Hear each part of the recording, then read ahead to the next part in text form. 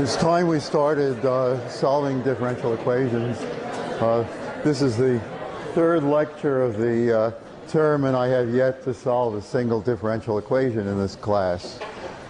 Uh, well, that will be rectified from now till the end of the term.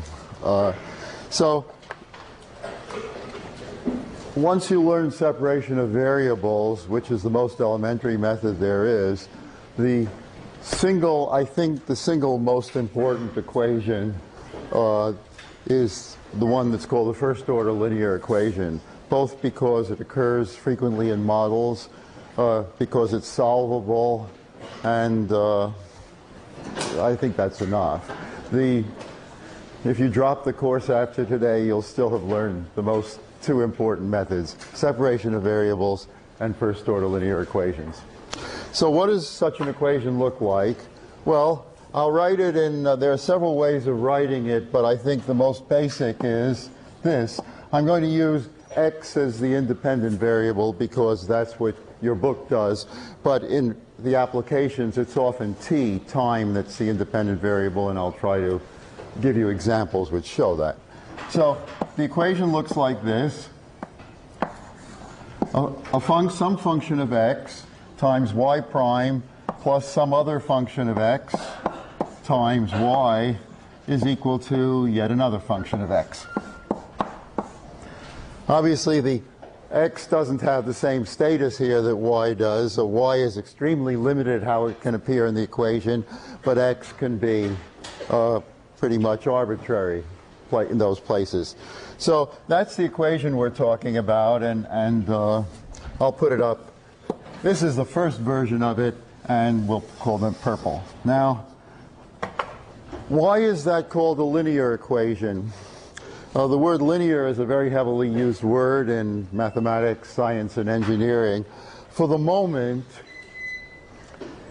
the best simple answer is because it's linear in y and y prime, the variables y and y prime. Well, y prime is not a variable. Well, you'll learn in a certain sense, it helps to think of it as one, not right now perhaps, but think of it as linear by analog the most closely analogous thing would be the equation, uh, an equa a linear equation that looked like a real linear equation, the kind you studied in high school, uh, which lo would look like this.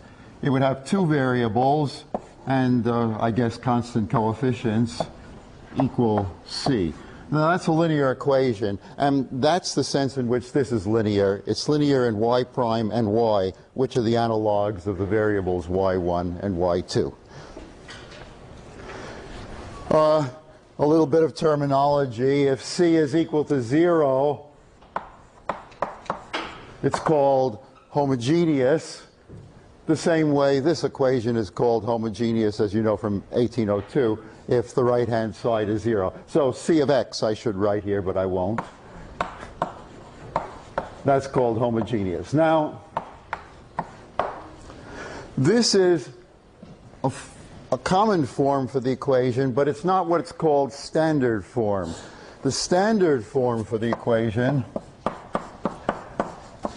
and since this is going to be a prime course prime course of confusion, which is probably completely correct, but a prime source of confusion is what I meant. Uh, the standard linear form, and I'll underline linear,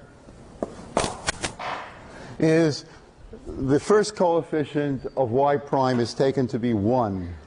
So if I divide you can always convert that to a standard form by simply dividing through by it. And if I do that, the equation will look like y prime plus. Now, it's common to not call it b anymore, the coefficient, because it's really b over a, and therefore it's common to adopt a, yet a new letter for it, and the standard one that many people use is p.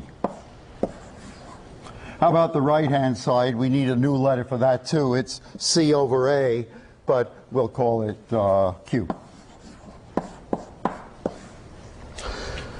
So when I talk about the standard linear form for a, for a linear first order equation, it's absolutely that that I'm talking about.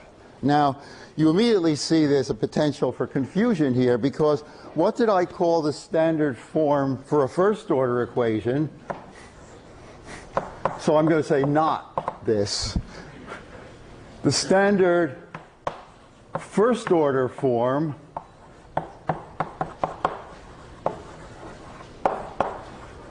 What's, what would that be? Well, it would be y prime equals and everything else on the left-hand side.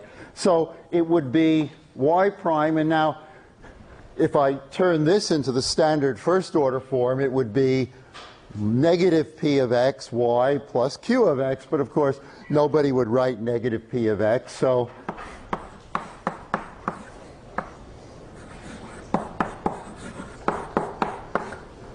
Now, I explicitly want to say that this is a form which I will never use for this equation, although half the books in the world do. Uh, in short, this poor little first order equation belongs to two ethnic groups. It's both a first order equation, and therefore its standard form should be written this way, but it's also a linear equation, and therefore its standard form should be used this way. Well, uh, it has to decide, and I have decided for it. It is above all a linear equation, not just a first order equation, and this, in this course, this will always be the standard form. Now, well, what on earth is the difference? Oh, if you don't do it that way, uh, the difference is entirely in the sign of p, but if you get the sign of p wrong in the answers, uh, it's just disaster from that point on. A trivial little change of sign in the answer produces solutions and functions which have totally different behavior, and you're going to be really lost in this course. So I, uh, maybe I should draw a line through it to indicate, uh, please don't pay any attention to this whatsoever. Except that we're not going to do that. Okay? Well, what's so important about this equation? Well, number one, it can always be solved. That's a very, very big thing in differential equations. But it's also the equation which arises in a variety of models.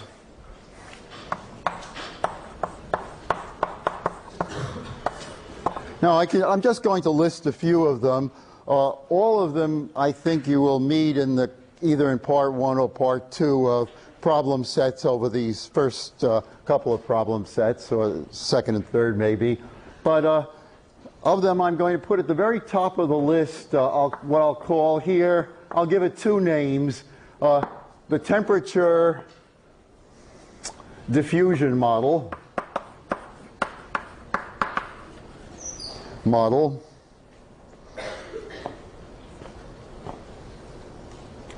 Uh, well, that's I'm sorry, it would be better to call it temperature concentration uh, by uh, analogy. Temperature concentration model. There's the mixing model, which is hardly less important. In other words, it's almost as important. Uh, you have that on your problem set. Um, and then there are other uh, slightly less important models. There's the model of radioactive decay.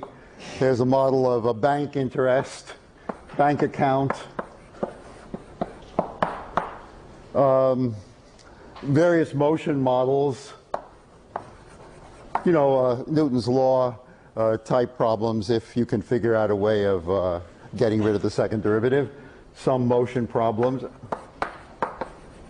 A classic example is the motion of a rocket being fired off, etc., etc., etc.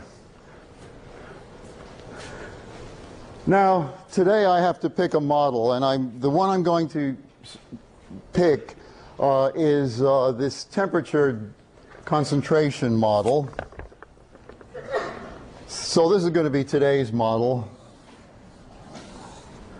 Uh, tomorrow's model in the recitation, I'm asking the recitations to, among other things, make sure they do a mixing problem. Uh, to show A, to show you how to do it, and B, because it's on the problem set, so that's, that's not a good reason, but it's not a bad one. The others are either in part one or we'll take them up later in the term. Uh, this is not going to be the only lecture on the linear equation. There'll be another one next week of equal importance, but we can't do everything today. So let's talk about the temperature concentration model, uh, except I'm going to change its name to the, I'm going to change its name to the conduct, conduct, conduction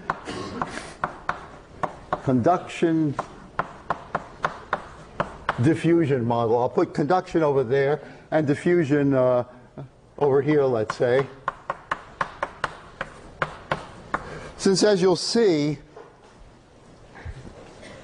the similarities, or they're practically the same model, all that's changed from one to the other is the name of the ideas. In one case you call it temperature, and the other you case you call it concentration, but the actual mathematics isn't identical. But so let's begin with uh, conduction.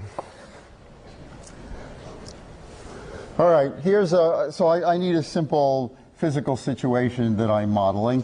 So imagine a tank of some liquid, water will do as well as anything. And in the inside is a suspended somehow is a chamber. a metal cube will do. And let's suppose that its walls are partly insulated. Not so much that no heat can get through. There is no such thing as perfect insulation anyway, except maybe a, uh, an absolute, a, vac, a perfect vacuum. Uh, now, inside, so here on the outside is liquid. Okay. On the inside, is uh, what I'm interested in is the temperature of this thing. I'll call that T. Now, that's different from the temperature of the external water bath, so I'll call that uh, T sub E. T for temperature, measured in Celsius, let's say, for the sake of definiteness, but this is the external temperature, so I'll indicate it with an E. Now, what is the model? Well, in other words, how do I set up a differential equation to model this situation? Well, it's based on a physical law, which I think you know. Uh, you've had simple examples like this. The so-called Newton's law of cooling.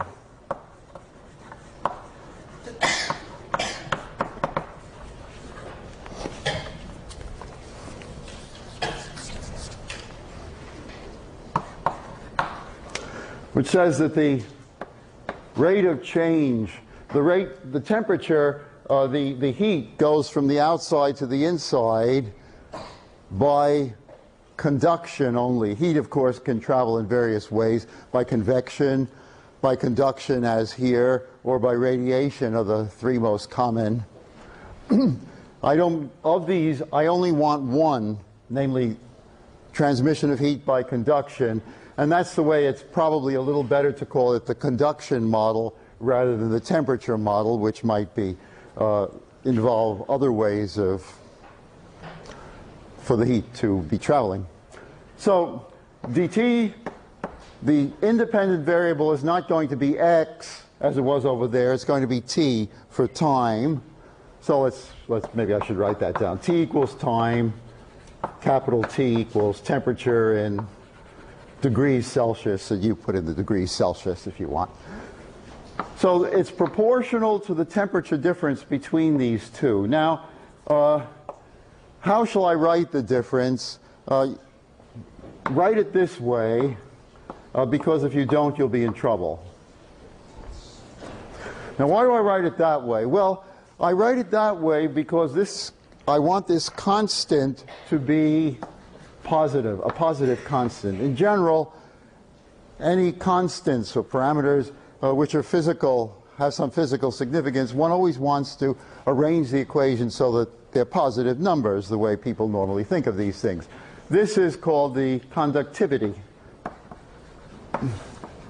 The conductivity of what? Well, I don't know, of the system, of the situation. The conductivity of the wall, or if the wall, if the metal were just by itself, it would, at any rate, it's a constant. It's, it's thought of as a constant. And uh, why positive? Well, because if the external temperature is bigger than the internal temperature, I expect T to rise, the internal temperature to rise. That means dt dt, its slope should be positive. So in other words, if TE is bigger than T, I expect this number to be positive, and that tells you that K must be a positive constant. If I had turned it the other way, expressed the difference in the reverse order, K would then be negative, have to be negative in order that this turn out to be positive in that situation I described. And since nobody wants negative values of K, uh, you have to write the equation in this form rather than the other way around. So there's our differential equation. It will probably have an initial condition, uh, so it could be the temperature at the starting time should be some given number T0. But the condition could be given another way. One could ask, what's the temperature as time goes to infinity, for example? Uh, there are different ways of giving that initial condition. Okay, that's the conduction model. What would the diffusion model be? The diffusion model mathematically would be word for word the same. The only difference is that now what I imagine is I'll draw the picture the same way, except now I'm going to put label the inside not with a T but with a C. C for concentration. It's in an external water bath, let's say. Uh, so there's an external concentration. And what I'm talking about is some chemical, let's say salt is, will do as well as anything. So C is equal to salt concentration inside, and CE would be the salt concentration outside. Outside in the water bath. Now, I have I imagine some mechanism. So this is a salt solution, that's a salt solution, and I imagine some mechanism by which it, the salt can diffuse, it's a diffusion model now, diffuse from here into there or possibly out the other way, and that's usually done by vaguely referring to uh, that the outside is a semi-permeable membrane. Semi-permeable so that the salt will have a little hard time getting through, uh, but permeable so that it won't be blocked completely. So there's a membrane. Uh, uh, you write the semi-permeable membrane outside. Outside the inside. well, I give up. Uh, you know, not membrane somewhere. Sorry.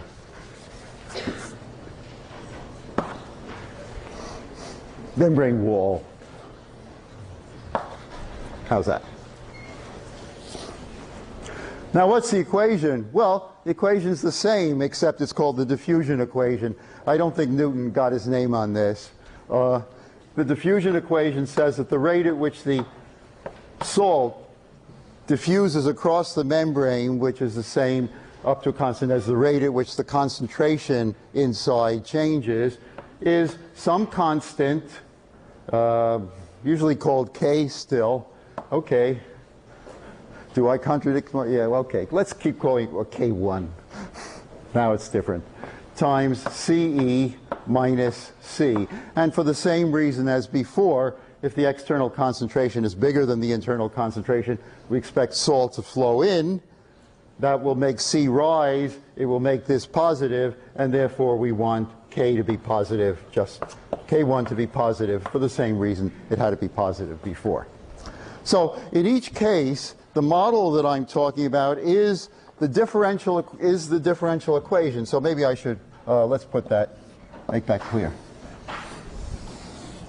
Or I would say that this first order differential equation models this physical situation, and the same thing is true on the other side over here.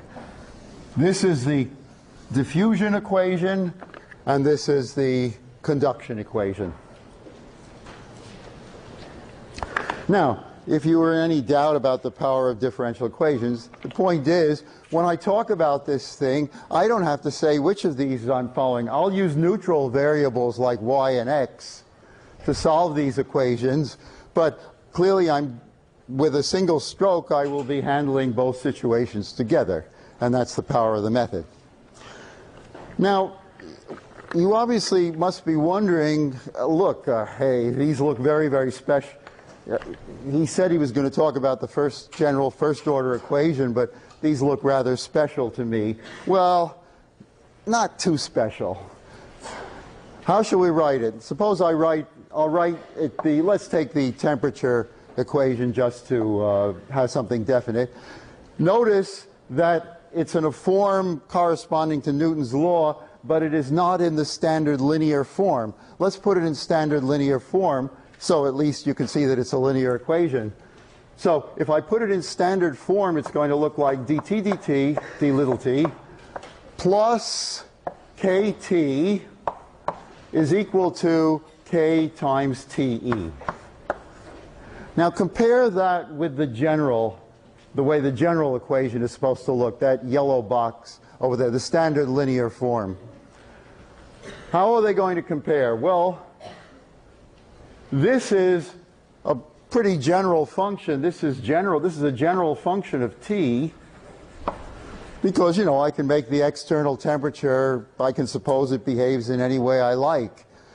Steadily rising, decaying exponentially, maybe oscillating back and forth for some reason. The only way in which it's not general is that this k is a constant. So I will ask you to be generous if, let's imagine the conductivity is changing over time. So this is usually constant, but there's no law which says it has to be.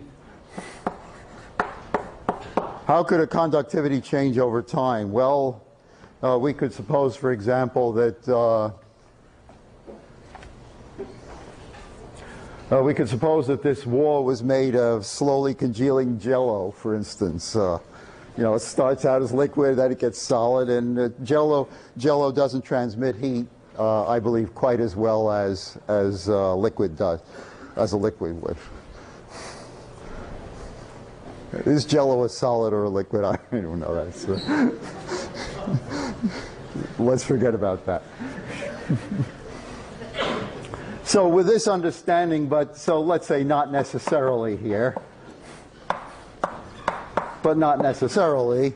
Uh, I can think of this, therefore, by allowing k to vary with time and the external temperature to vary with time. I can think of it as a general linear equation.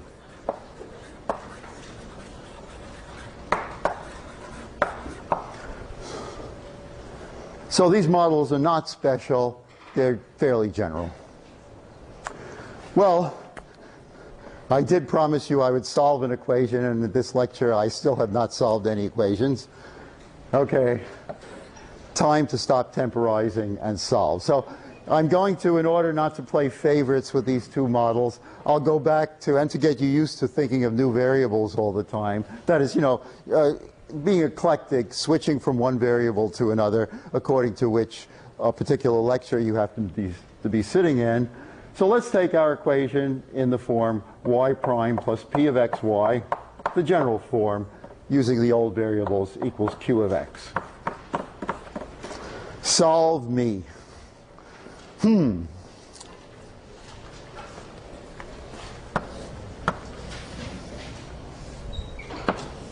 Well, there are different ways of describing the solution process. No matter how you do it, it amounts to the same amount of work. And there's always a trick involved in each one of them, since you can't suppress a trick by doing the problem some other way. Uh, the way I'm going to do it, I think, is the best. That's why I'm giving it to you. It leads to, it's the easiest to remember, leads to the least work, but I have colleagues who would fight with me on that point. So, since they're not here to fight with me, I, I am free to do whatever I like. The, one of the main reasons is that uh, of doing it the way I'm going to do is because I want you to get one more word into your conscience, uh, consciousness, and that's the word, two words, integrating factor. I'm going to solve this equation by finding an integrating factor of the form u of x. What's an integrating factor? Well, I'll show you, uh, not by writing an elaborate definition on the board, but showing you what its function is. It's a certain function u of x. I don't know what it is, but here's what I want it to do. I want to multiply, I'm going to drop the x's uh, just so that the thing looks less complicated. So what I want to do is multiply this equation through by u of x. That's why it's called a factor because you're going to multiply everything through by it. So it's going to look like uy prime plus p u y equals qu. And now this thing is, so far it's just a factor. What makes it an integrating factor is that this, after I do that, I want this to turn out to be the derivative of something with respect to x. You see the motivation for that. If this turns out to be the derivative of something because I've chosen u so cleverly, then I'll be able to solve the equation immediately just by integrating this with respect to x and integrating that with respect to x. You just then integrate both sides with respect to x and the equation is solved. Now, the only question is, what should I choose for u? Well, what I'm this if you think of the product formula, there might be many things to try here, but there's only one reasonable thing to try. Try to pick u so that it's the derivative of u times y. See how reasonable that is. If I use the product rule on this, the first term is u times y prime. The second term would be u prime times y. Well, I've got the y there, so this will work, works if what? If What's the condition that you must satisfy in order for that to be true? Well, it must be that after I do the differentiation, u prime turns out to be p times u.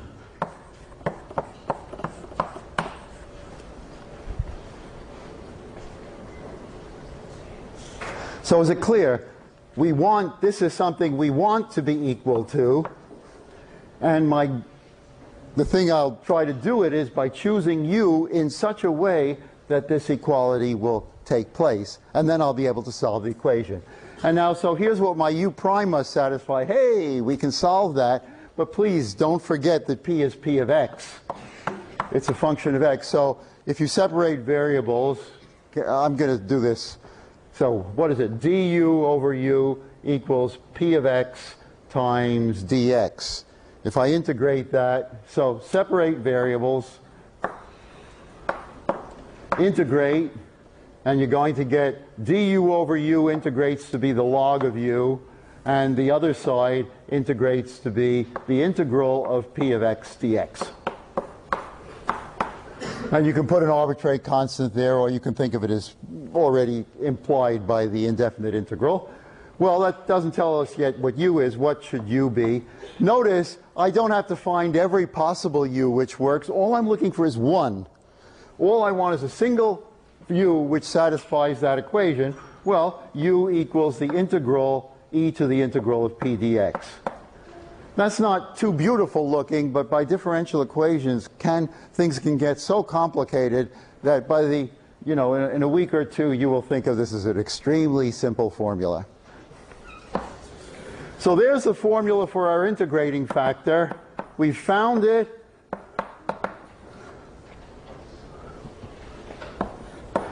We'll always be able to write an integrating factor. Don't worry about the arbitrary constant because you only need one such u. So no arbitrary constant since only one since only one u needed.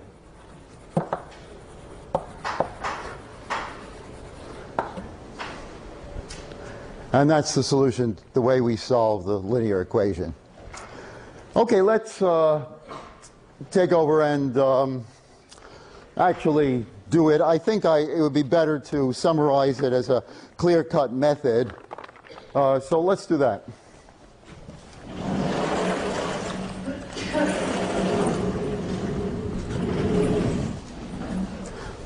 So what's our method? It's the method for solving y prime plus py equals q. Well, the first place, make sure it's in standard, standard linear form. If it isn't, you must put it in that form. Notice the formula for the integrating factor, the formula for the integrating factor involves p, the integral of p dx, so you better get the right p. Otherwise, you're sunk. Okay, so put it in standard linear form. That way you'll have the right p. Notice that if you wrote it in that form and all you remembered was integral e to the integral p dx, the p would have the wrong sign. That if you're going to write that p should should have a negative sign there. So do it this way and no other way. Otherwise, you'll get confused and get wrong signs, and as I say, that will produce wrong answers, and not just slightly wrong answers, but disastrously wrong answers from the point of view of the modeling, if you really want answers to physical problems. So here's a standard linear. Then find the integrating factor. So calculate e to the integral p dx, the integrating factor.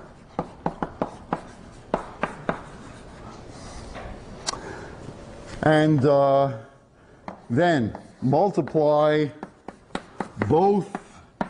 I'm putting this is both. Put, underline that as many times as you have room in your notes. Uh, multiply both sides by uh, this integrating factor by uh, e to the integral p dx. And then integrate.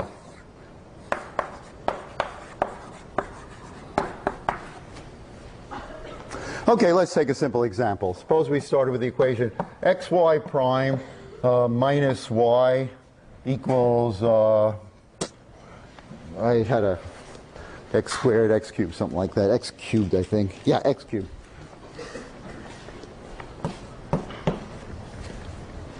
Okay. What's the first thing to do? Ah, put it in standard form. So step zero will be to write it as y prime minus 1 over x times y equals x squared. There are two standard errors. Let's do the work first, and then I'll talk about mistakes. And now what? Well, we now calculate the integrating factor. So that's, I do it, do it in steps. You can integrate uh, one, negative 1 over x, right? That integrates to minus log x. So the integrating factor is e to the integral of this dx. So it's e to the negative log x.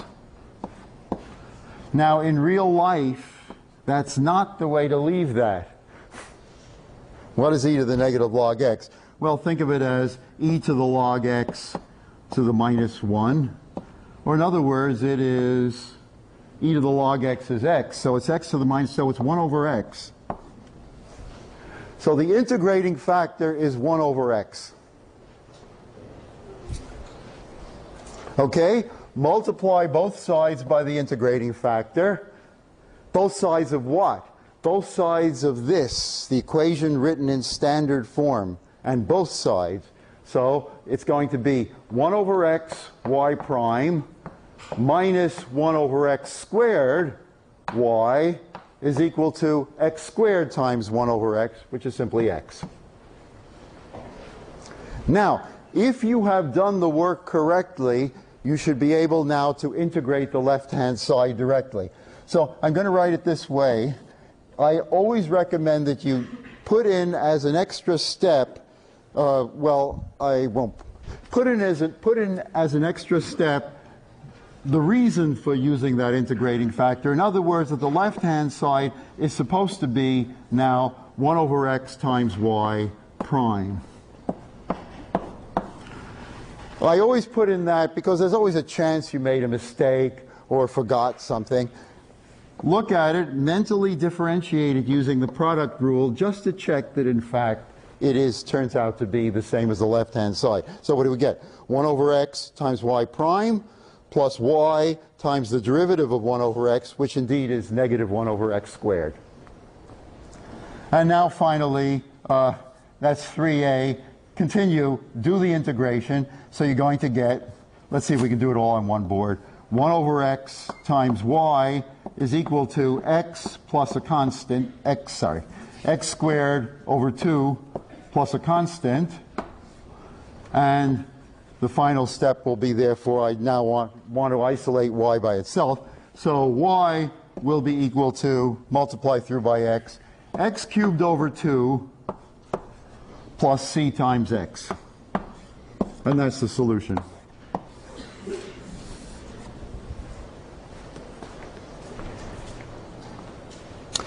Okay, let's do one a little slightly more complicated.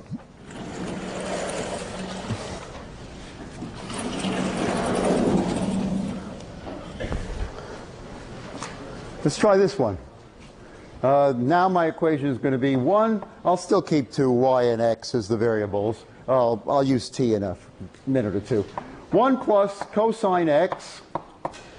So I'm not going to give you this one in standard form either. either trick question. Uh, y prime uh, minus sine x times y is equal to uh, anything reasonable, I guess. I think uh, what x I uh, 2x make it more exciting. Okay. Now, I think I should warn you what, where the mistakes are, uh, just so that you can make all of them. So this is mistake number one. You don't put it in standard form. Mistake number two, uh, uh, generally people can do step one fine. Uh, mistake number two is you don't this is my most common mistake, so I'm very sensitive to it. But that doesn't mean if you make it, you'll get any sympathy from me. I don't give sympathy to myself. Uh, you're so intent on, so happy at having found the integrating factor, you forget to multiply q by the integrating factor also. You just handle the second, the left-hand side of the equation, and you forget about the right-hand side. So the both, the emphasis on the both here is the right hand, please include the q. Please include the right-hand side. Any other mistakes? Uh, well, nothing that I can think of. Well, maybe only. Anyway, we're not going to make any mistakes for the rest of this lecture. So what do we do? We write this in standard form. So it's going to look like y prime minus sine x, sine x divided by 1 plus cosine x times y equals my heart sinks because I, I, am I know I'm supposed to integrate something like this, and boy, that, uh, that's going to give me problems. Okay, well, not yet. Uh, what's the integrating factor? The integrating factor is, well, we want to calculate the integral of negative sine x over 1 plus cosine. That's the integral of p dx. And after that, we have to exponentiate it. Well, can you do this? Yeah, but if you stare out a little while, you can see that the top is the bottom is the derivative of the bottom. That is great. That means it integrates to be the log of 1 plus cosine x. Is that right? 1 over 1 plus cosine x times the derivative of this, which is negative cosine x. Therefore, the integrating factor is e to that In other words, it is 1 plus cosine x. Therefore, so this was step 0. Uh, step 1, we found the integrating factor. And now step 2, we multiply through by the integrating factor. And what do we get? We multiply through the standard form equation by the integrating factor. And if you do that, what you get is, well, y prime gets the coefficient 1 plus cosine x y prime minus sine x equals 2x.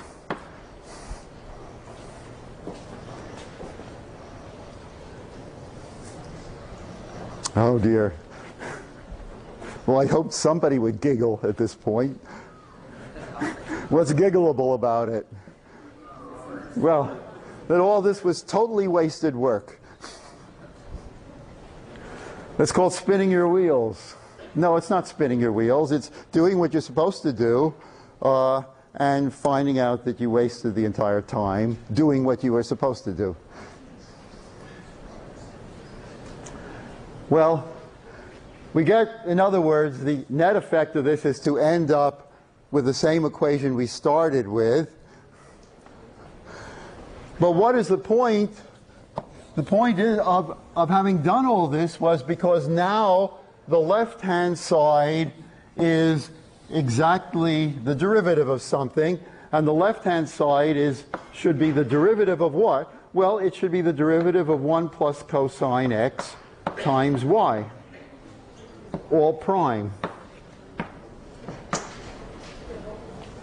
Now, you can check that that's in fact the case. It's 1 plus cosine x, y prime, plus minus sine x, the derivative of this side, times y.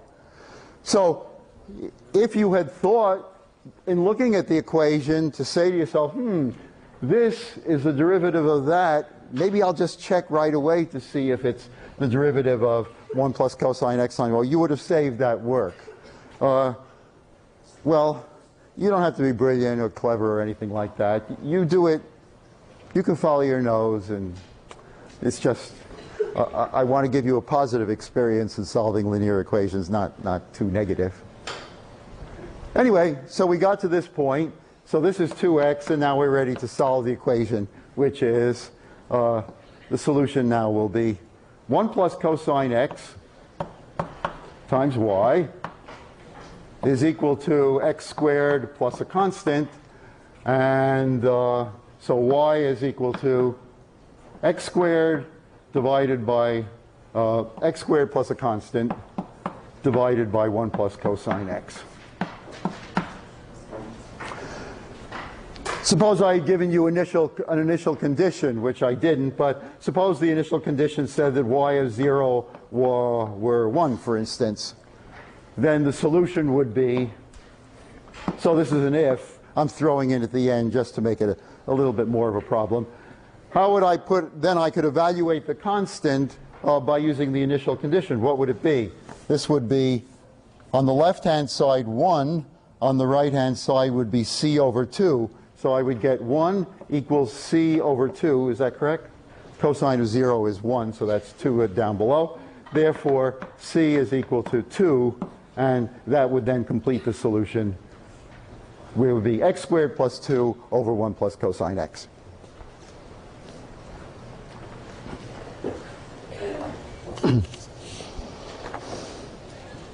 now, let's, uh,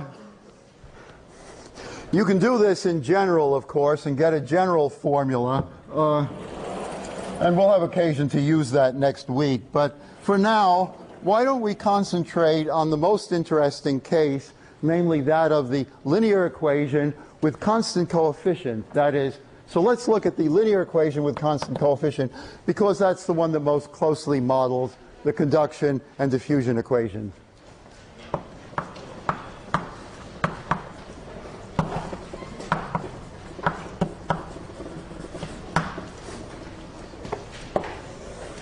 So what I'm interested in is, since this is the, of them all, probably it's most, the most important case is the one where P is a constant uh, because of its application to that. And, and, many of the other, the bank account, for example, all of those would use a constant coefficient. So uh, how is the thing going to look? Well, I'll use the uh, cooling. Let's, let's use the temperature model, for example. The temperature model, the equation will be dt dt plus kt is equal to, now notice on the right hand side, this is a common error, uh, you don't put TE, you have to put KTE uh, because that's what the equation says. Uh, if you think units, you won't have any trouble. Uh, units have to be compatible on both sides of a differential equation, and therefore whatever the units were for capital KT, I'd have to have the same units on the right hand side, which indicates I cannot have kt on the left of the differential equation and just t on the right and expect the units to be compatible. It's, that's not possible. So that's a good way of remembering that if you're modeling temperature or concentration, you have to have the K on both sides. Okay, let's do, now a lot of this we're going to do in our head now because this is, uh, this is really too easy. What's the integrating factor? Well, the integrating factor is going to be the integral of K, the coefficient now is just K, P is a constant K, and if I integrate K dt, I get KT and I exponentiate that, so the integrating factor is e to the kt. I multiply through both sides, multiply by e to the kt, and what's the resulting equation? Well, it's going to be, I'll write it in the compact form, it's going to be e to the kt times t, all prime, the differentiation now, of course, is with respect to the time, and that's equal to k t e, whatever that is, times e to the kt. This is a function of t, of course, the function of little time. Uh, sorry, little t time. Okay, and now finally we're going to integrate What's the answer? Well, it is e to the, so we're going to get e to the kt times t is, sorry, k little t, k times time times the temperature is equal to the integral of k te, I'll put the, the fact that it's a function of t inside just to remind you, e to the kt, uh, and now I'll put the arbitrary constant let, let's put in the arbitrary constant explicitly. So what will t be? Okay, t will look like this finally. It will be e to the negative kt, that's on the outside. Then you will integrate. Uh, of course, the difficulty of doing this integral depends entirely upon how this external temperature varies. But anyway, it's going to be k times that function which I haven't specified, e to the kt plus c times e to the negative kt. Now, some people, uh, many in fact, and almost always in the engineering literature, uh, almost never write indefinite integrals because an indefinite integral is indefinite. In other words, this covers not just one function, but a whole multitude of functions which differ from each other by an arbitrary constant. So in a formula like this, there's a certain vagueness, and it's further compounded by the fact I don't know whether to put the whether the arbitrary constant is here. I seem to have put it explicitly on the outside, the way you're used to doing from calculus. Many people therefore prefer, and I think you should learn this, to do what is done in the very first section of the notes called definite integral solutions. They like, if, in, if there's an initial condition saying that the internal temperature at time zero is some given value, what they like to do is make this thing definite by integrating here from zero to t and making this a dummy variable. You see what that does is it gives you a particular function, whereas it was a, I'm sorry, I didn't put in the dt one, minus 2.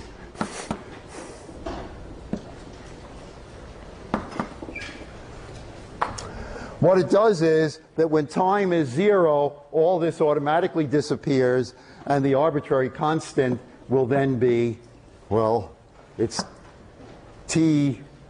So in other words, c times this, which is 1, is then equal to t. In other words, if I make this 0, then I can write c as equal to this arbitrary starting value. Now, when you do this, the essential thing, and we're going to come back to this next week, but right away, that because k is negative, is positive, I wanted, since I emphasized that so, so much at the beginning of the period, I want to conclude by showing you what its significance is.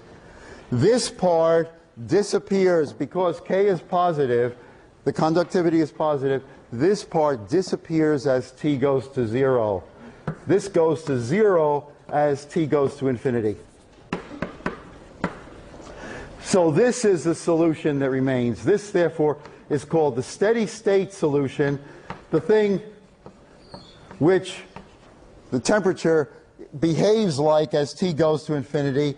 This is called the transient because it disappears as t goes to infinity. It depends on the initial condition, but it disappears, which shows you that in the long run, for this type of problem, the initial condition makes no difference. The function behaves always the same way as t goes to infinity.